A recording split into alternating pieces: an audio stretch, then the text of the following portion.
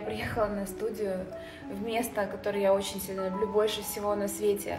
А, из каких-то дел я обожаю петь, выступать. Я с самого детства занимаюсь вокалом, я с самого детства мечтала быть а, певицей, я мечтала быть на сцене, и даже в детстве, знаете, я смотрела телевизор, когда видела на новогодних огоньках, как выступала Алла Борисовна Пугачева, я всегда маме говорила, мама, я тоже буду певицей, я тоже буду выступать на сцене, я тоже буду в телевизоре. Мне было буквально 3-4 года, я уже в садике ставила табуреточку, пела русские народные песни Кадышеву, пела «Плачет девушка в автомате». Ну, короче, я обожала петь, и я очень сильно люблю это дело, это реально моя мечта, и я кайфую каждый день от того, что сейчас имею возможность петь, гастролировать и делиться своей музыкой.